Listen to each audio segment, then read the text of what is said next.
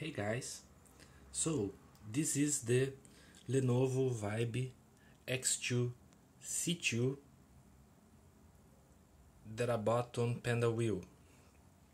As you can see, right now I'm connected to network on 3G mode.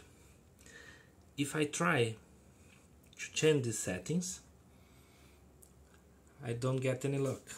As you can see, I have my access point names defined and if I try to configure to connect to 4G here this is my network operator. So if I check here as you can see 2G 3G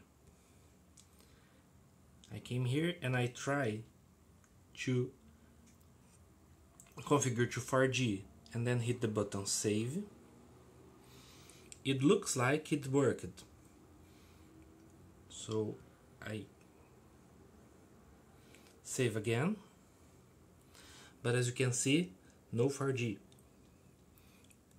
and if I came back here no 4G no 4G as I said on my post looking for the configurations of this model X2C2 CU um, Lenovo said that it doesn't have band 7 for 4G that is the band we use in Brazil. But your side said that this phone should have band 7. I don't know if this is a defective phone that you send me or if you send me the wrong model. There is another models like Lenovo Vibe X2 EU or Lenovo Vibe X2 AP that has, according to Lenovo, um, band 7 so I could use 4G here in Brazil.